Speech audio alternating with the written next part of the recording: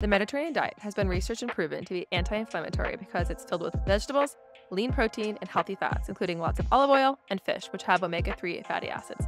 Luckily, the Mediterranean diet is also delicious. So let's make a metabolic power bowl Mediterranean style. I love homemade dressing to avoid added sugars and additives in store bought dressings.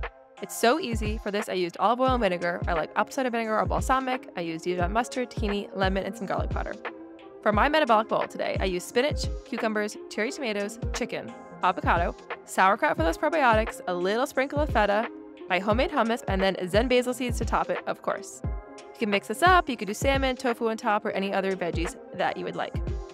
Mix it up, of course, after you snap a photo, and enjoy. Give levels a try today and start feeling your best.